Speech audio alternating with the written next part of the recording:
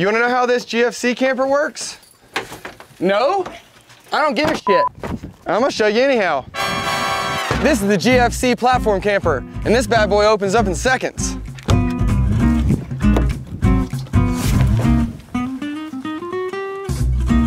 Even the sides open up, which allow me to grab something from the cooler. With all the sides up, I call this cabana mode. My favorite part is you can access the sleeping area from the truck bed or from this ladder.